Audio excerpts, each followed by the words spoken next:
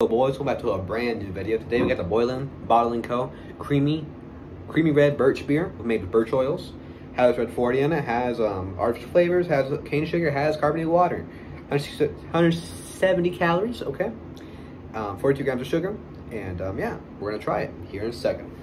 Today, I am going to be trying to, my place be art, but I'm most likely to be trying to write a 250 word essay for uh, why I'm a good applicant for the FBI Teen Academy.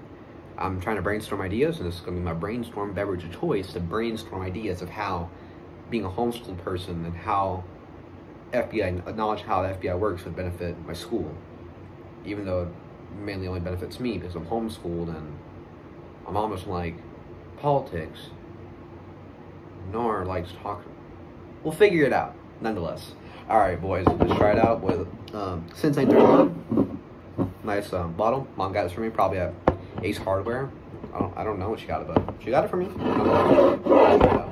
I'm to be using a bunch of connectives in that paragraph. One day, I'll let y'all how I'll let you know how it goes. Deadline is May 18th, so oh, let's twist sawdust. Ooh, baby, that smells like root beer. Yeah, it smells like root beer. Nice. Always love a good root beer. It's also gonna be like a cream soda almost. It's almost like purple and everything, and um, it smells like root beer. Nice, like kind of spicy root beer, like the barrels.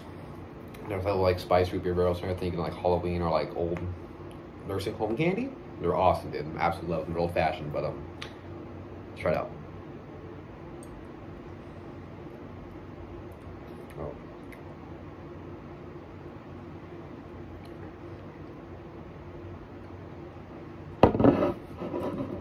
It is quite smooth. tastes like root beer. But um, it tastes like root beer. Now what's in the birch oils? Very vanilla vanilla like taffy. Very, hmm. It, it is, it's an interesting flavor. I mean, it tastes like root beer, but it kind of has like a little bit of like a, an ice cream taste to it. Like a nice, really rich root beer. And then like with a finish of vanilla ice cream. It, it's not bad whatsoever. Um, you know, ingredients, carbonated water, cane sugar, pure birch oils, natural and artificial flavors, vanillin, citric, citric acid, um, sodium benzenate, and preserved freshness, red 40 for color, caramel color. It has a little U in a circle. I forgot that means. Probably, I don't know, trademark? I don't know. I don't know. Yeah, but maybe it's the vanilla. It does have like, like a strong finish of vanilla ice cream. Let's try it out, good.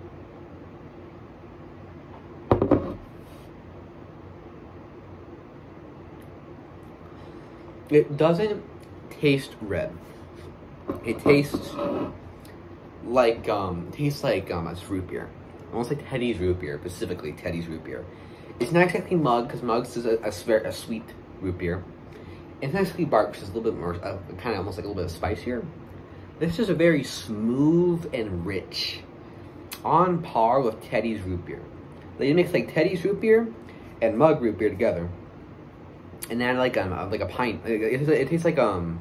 Maybe that's what the creamy means. It's a creamy maybe the the creamy means like a root beer float. This is exactly what this tastes like. It tastes like a root beer float specifically. Teddy's root beer, root beer float. If you've ever like lived in the Midwest specifically, I don't. I've never seen it on the West Coast. I haven't been to the East Coast, but in the Midwest, there's a thing called A and W stores. Um, you'll commonly see them in KFCs. They're like kind of like merged together. And I have seen A and W restaurants by themselves, and they don't have exactly the best food. But um, when it, where's KFC? Pretty sure it's KFC. Where's KFC? I honestly don't remember, but in Montana, just north of Dillon, I think maybe on the road towards Bozeman or Helena, maybe. Some I don't know. It, it was young. I was young when it happened, but um, there was just like a and W mixed with a KFC, and it was like basically in the middle of nowhere. It was like one of those things like where you drive here and you'll have like no more gas, you'll have no gas station for 100 miles, kind of thing. Be like fields and the cattle and just like farms and stuff. And I remember it was always rainy there, always rainy. I don't, I don't remember like having one memory where it wasn't like raining or clouds in the sky. Never a clear day there. But um, it was an awesome place, and um, there'd be gas station there. Dude, Montana. I when I used to live in Montana, it was a great place, man it just had its own culture. And it was just nice to see all these new cool things and so much space and listening to classic rock stations, and then classic rock goes away and just hear nature and stuff. It was just great. I can't even like remember like the feeling of just like constantly having to pop my ears from how high the elevation was, dude. Going from like Dillon to like all the way like up, up, so. But yeah, basically, long story short, now A and W, A and W, KFC merge. It was right by um uh like your turn to the highway. Basically, it's like I don't know what do you call it? Like I had like a bridge. Okay, like a bridge here. Highways on top of the bridge. One road here, one road here. Okay, and basically my face is this bridge and everything, and it was like right, it was right here, over here, behind this right turn and everything. I don't know why it matters, but um, I this is a review and rating. That's what R&R stands for, by the way. I had to say like every video. Even if anybody remembers, I have to remind them, okay? And um, yeah, the A&W had a root beer float, and I remember it fondly because it would be like driving for like four hours and just, I don't know, tired and weird because it's just liminal.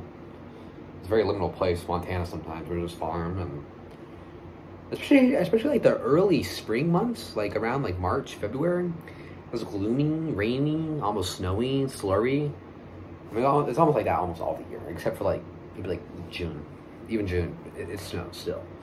A bunch of other stories they talk about snowing in the summertime and everything in Montana, but um, long story short, good. Tastes like a root beer float that A&W had that I liked as a kid, and it was really good. Okay, and that's the story and the review of the Boylan Boylan Co. Creamy Red Birch Beer Soda.